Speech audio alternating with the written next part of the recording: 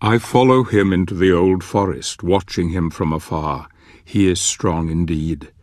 The one God comes to drive out the many, but here, in this place, God's influence is thin and threadbare.